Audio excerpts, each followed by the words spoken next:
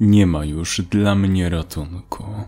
Siedzę zamknięty w mrokach mojego zamkniętego mieszkania, a wściekli mieszkańcy mojego miasteczka właśnie oblegają okolice w poszukiwaniu bestii, która rozszarpała wielu ludzi w okolicy. Tak się składa, że to ja jestem tą bestią. Zawsze lubiłem czytać o artefaktach i amuletach pradawnych cywilizacji, a zbieranie takich rzeczy było moim hobby. Miałem taką małą kolekcję, która napawała moje serce radością. Pewnego dnia w drodze do pracy zauważyłem w skrzynce na listy mały pakunek, więc zabrałem go do domu i otworzyłem. W środku był mały amulet, który przedstawiał głowę wilka ze świecącymi oczami. Byłem naprawdę zdziwiony takim prezentem, zwłaszcza, że nie wiedziałem od kogo to dostałem, ponieważ paczka nie była zaadresowana. Odłożyłem amulet na biurko i poszedłem do pracy, jednak przez cały dzień nie mogłem się skupić. Ciągle myślałem o amulecie, który leżał w moim domu. Chciałem go założyć, czułem chęć, aby znowu go zobaczyć. Czułem, jak mnie coś do niego ciągnie. Gdy tylko wybiła godzina końca zmiany, wybiegłem szybko z pracy i natychmiast pojechałem do mieszkania. Gdy dotarłem do domu, od razu założyłem amulet, a jego oczy zabłyszczały czerwienią, po czym zgasły. Nie przejąłem się tym zbytnio. Zająłem się codziennymi sprawami, zjadłem kolację i położyłem się spać. Podczas snu miałem koszmar. Stałem w moim pokoju obok łóżka, na którym spała moja osoba. Nagle oczy amuletu zajarzyły czerwonym blaskiem, a z cienia wyłoniła się czarna, humanoidalna postać. Wyglądała niematerialnie. Cały czas obserwowała mnie, a gdy moja osoba zaczęła się budzić, rzuciła się jej do gardła. Obudziłem się w swoim łóżku, zlany potem. Zdjąłem amulet i spojrzałem na niego. Był dziwnie lekki, mimo że wczoraj ważył naprawdę sporo, jak na wisiorek z jakiegoś metalu. Rzuciłem go na biurko i zacząłem przygotowywać śniadanie. Gdy skończyłem, zacząłem pić kawę i włączyłem poranne wiadomości. Była tam relacja na żywo z jakiejś farmy, gdzie rolnik opowiadał o zamordowanych ze szczególnym okrucieństwem owcach. Mówił, że miały rozszarpane brzuchy i wyjedzone wnętrzności. Wyłączyłem to i poszedłem do łazienki, aby się ogarnąć do pracy.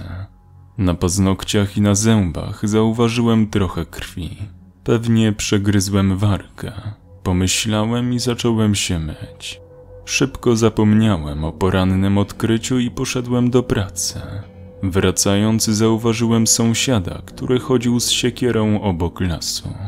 Postanowiłem zapytać się, co robi, a on odpowiedział, że widział w nocy dużego wilka, który ciągnął jagnię do lasu i postanowił pilnować miasteczka. Zaśmiałem się, gdyż w tych rejonach nigdy nie było wilków. Staremu prykowi pewnie się już w głowie pomieszało. Zaśmiałem się i wróciłem do domu. Dziś w nocy znowu miałem podobny koszmar. Ciemna postać pojawiła się obok, ale tym razem klęczała na swoich wielkich, owłosionych łapach i patrzyła się na moją śpiącą osobę, powarkując. Gdy tylko moja postać się obudziła, ona znów się na nią rzuciła. Po przebudzeniu ze strachu wziąłem ten cholerny amulet i wyrzuciłem go przez okno. Pobiegłem do łazienki i przemyłem sobie twarz zimną wodą.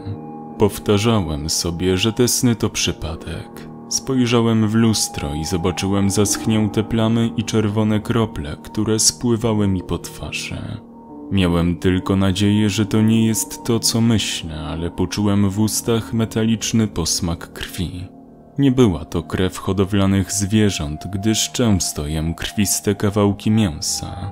Gdy tylko pomyślałem, czyja może być to krew, zwymiotowałem. Wskoczyłem pod prysznic i umyłem się. Następnie rozsiadłem się w fotelu i próbowałem sobie to racjonalnie wytłumaczyć. Włączyłem telewizor i zacząłem oglądać wiadomości. Reporter stał niedaleko mojego domu i opowiadał o brutalnym morderstwie kobiety, której rozszarpano twarz i wyjedzono wnętrzności. Gdy tylko sobie to wyobraziłem, znowu zwymiotowałem. Postanowiłem się przewietrzeć. Idąc na dworze, zauważyłem kilku sąsiadów, którzy chodzili za tym zgredem z bronią.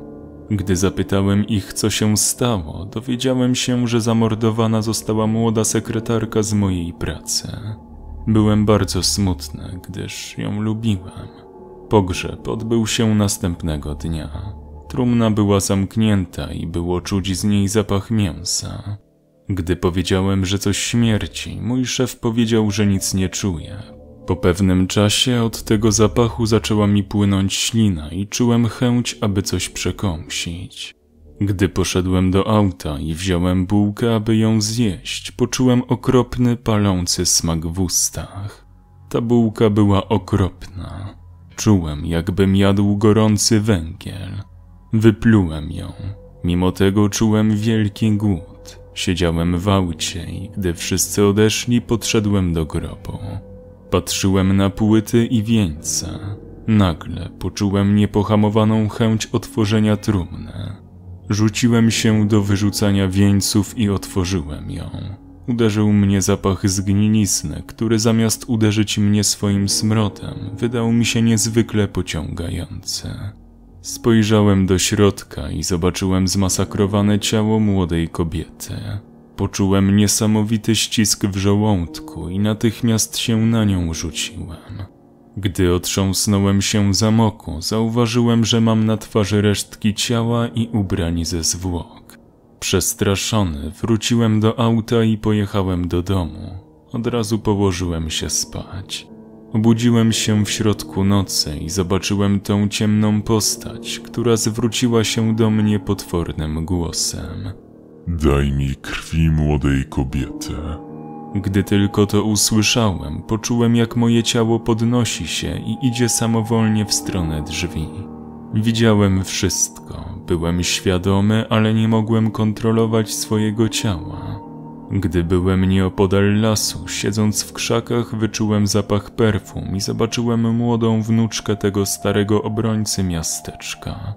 Nie chciałem tego robić, ale moje ciało samo rzuciło się na kobietę, od razu wgryzając się w jej tętnicę szyjną. Jej cudowne blond włosy opadły wraz z jej bezwładnym już ciałem na ziemię. Gdy tylko upadła, mój czuły słuch wyłapał, że ktoś się zbliża. Zobaczyłem, że to obrońcy wsi zauważyli mnie i zaczęli gonić. Rzuciłem się do ucieczki, zostawiając martwe ciało na drodze.